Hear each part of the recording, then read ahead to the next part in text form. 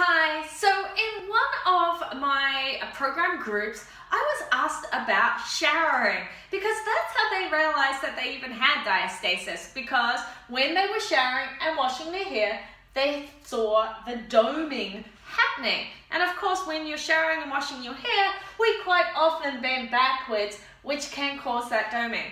So they asked, what are some tips for showering when you have diastasis? So here's a couple of them for you. Um, when you've got your shower happening, the first thing we need to work on is our ribs. So when you're washing your hair like this, and you've got your hands above your head, what you don't want to do is flare your ribs. So you don't want to arch your upper back to um, work on your hair.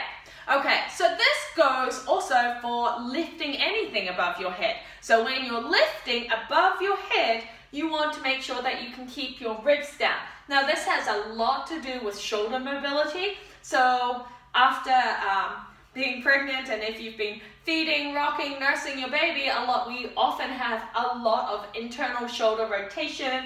We're hugging, we're rocking, it's all internal, internal, and this stops us from being able to reach up above our head without arching like this, which flares our ribs and opens up our diastasis. So you do want to work on opening out our chest and working your lower trapezius, your serratus anterior, so that we can start getting some shoulder mobility back as well.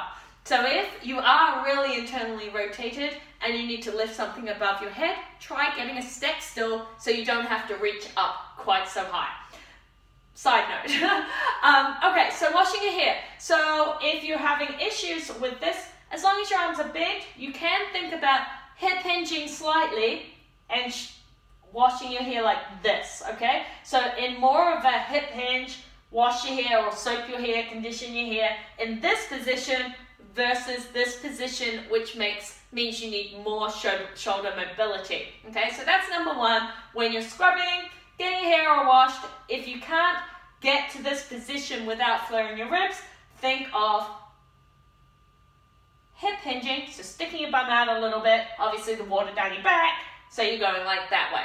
When you go to rinse your hair, have the water hitting at about mid head height, okay? So if you're used to being, so the water is sitting sort of on your shoulders at this point so that you have to sort of lean right back to get the top of your head um, wet, I want you to think about stepping back and just having it hit this point.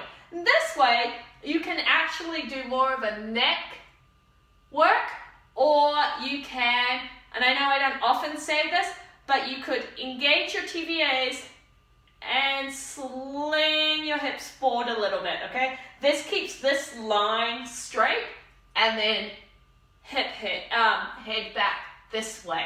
Okay? Now I know, I never say squeeze your glutes, pull up, and sling your hips forward because in general that's really bad. But there are times when it's useful because this back arch, where you have to arch your lower back and you flare your ribs, can be more detrimental. So engage, so think exhale, sling the hips right forward. You can even bend your knees if you need to, and try to keep this flat and then head back. But if you have the neck mobility, you can also just put your head straight back.